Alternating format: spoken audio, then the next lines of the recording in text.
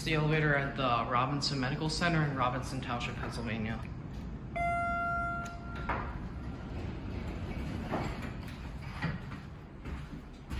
Two. Door closes not break.